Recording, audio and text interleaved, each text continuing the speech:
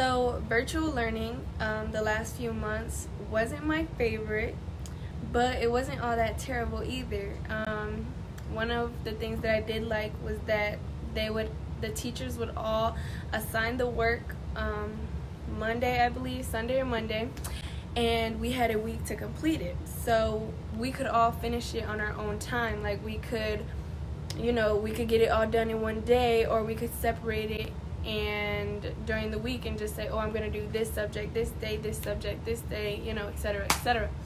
I feel like that was a plus in the whole virtual learning thing. However, I'm a very hands on learner and it wasn't my favorite thing. I like to be, you know, right next to the teacher, them explaining it right there instead of, you know, being instructed or them typing it out and me just having to, I feel like I just had to figure it out.